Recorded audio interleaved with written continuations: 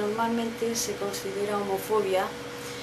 a eh, las actitudes agresivas, las actitudes eh, insultantes hacia los homosexuales,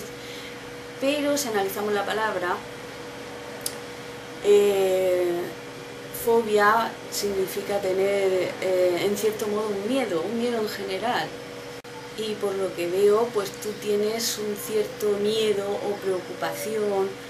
porque este tipo de matrimonios eh, suponga un peligro para las familias tradicionales y suponga un peligro para los niños y eh, bueno, puesto que no tienes pruebas de que suponga un peligro, eh, es irracional que sientan miedo y un miedo irracional es eso, es una fobia. Por lo tanto, tú, compañero Nobel y God, eres homofóbico. Pasivo, no militante, pero lo eres. Bueno, vamos a ver. Como veo que has malentendido el por qué te pedía eh, que no argumentaras utilizando a la Biblia o a tu religión para debatir sobre la homosexualidad, pues eh, te voy a hablar como Pastafari, confesa, defensora de la laicidad,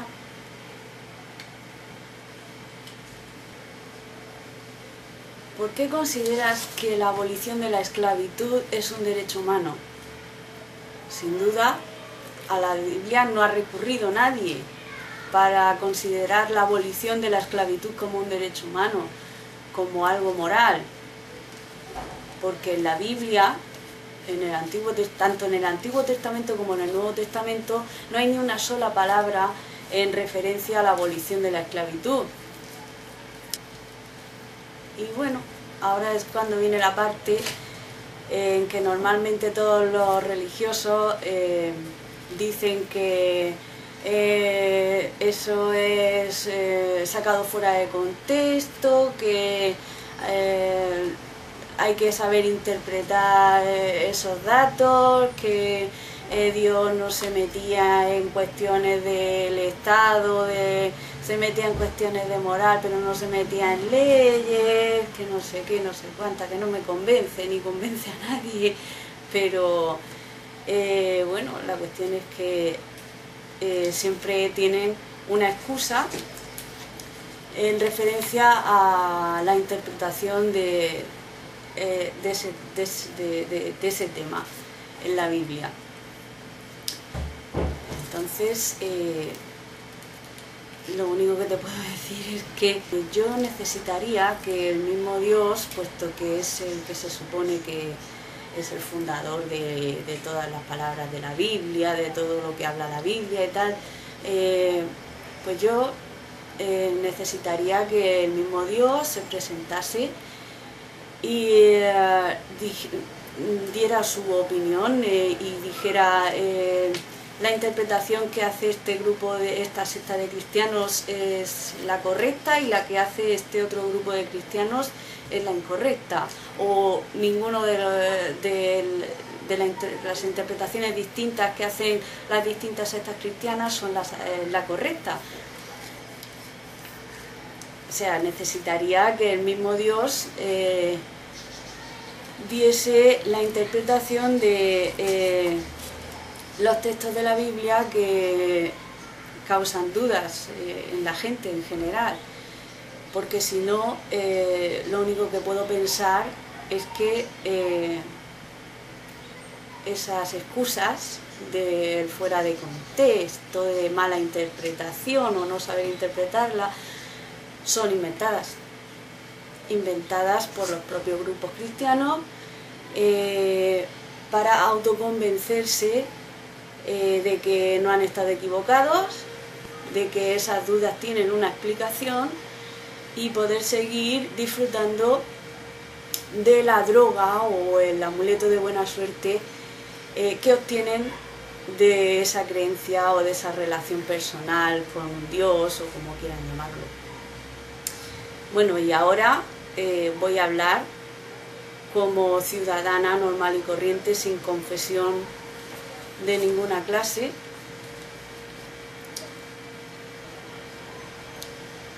La homosexualidad y sus derechos, así como el derecho al matrimonio entre homosexuales, es un derecho recogido en la Fundación Internacional de Derechos Humanos. Lo único que te digo es que eh, se puede probar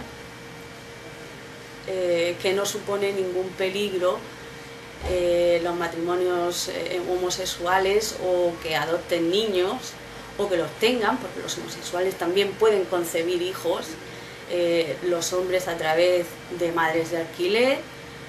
y las mujeres pues a través de su, de su propio vientre con eh, donantes de esperma. Así que, eh, bueno, se puede, como decía, se puede probar si, si es eh, una situación correcta, pues dejando que pase el tiempo y viendo cómo funciona el proyecto o cómo funcionan esas familias y siempre, si vemos que hay un fallo generalizado, siempre se puede dar marcha atrás y no hay ningún problema. Hay una parte de tu vídeo en la que comparas o pones eh, al mismo nivel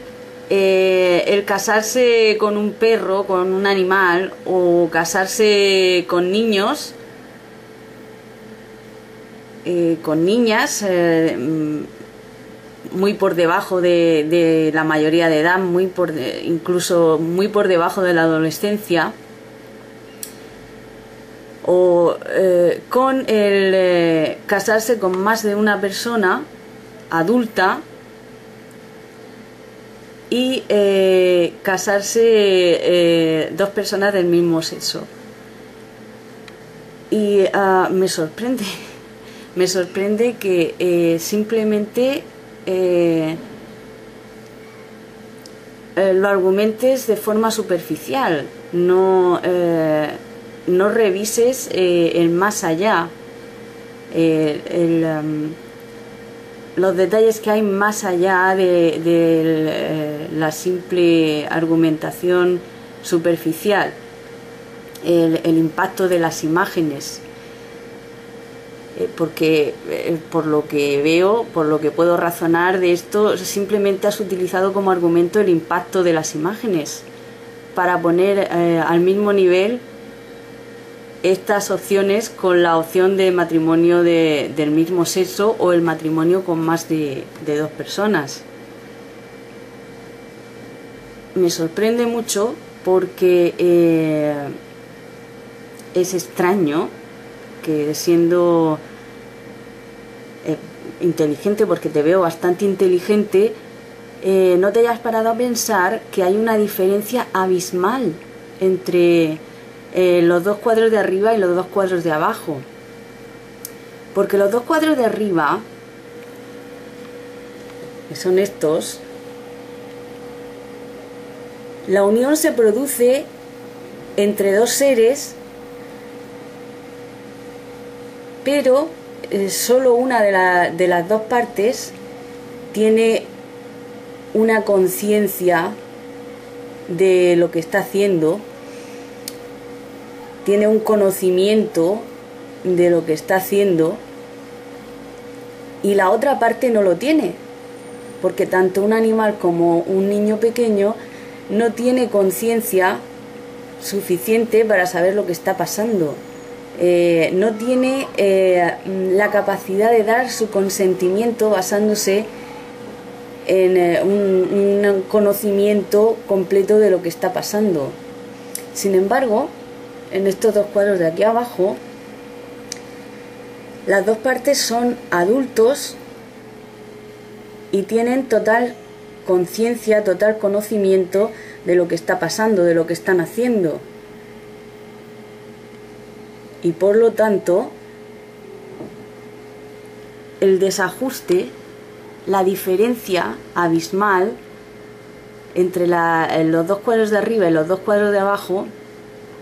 es clarísima. Y me sorprende mucho que no la hayas visto eh, desde el principio y ah, me sorprende que como inteligente que te considero, tú mismo te hayas dejado llevar por el impacto de las imágenes para hacer eh, esta correlación entre los cuadros de arriba y los cuadros de abajo.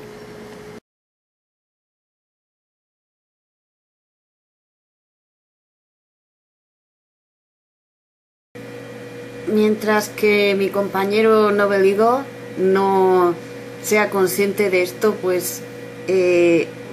no solo a mí, sino a cualquier otro no creyente le va a resultar eh, muy difícil debatir con él.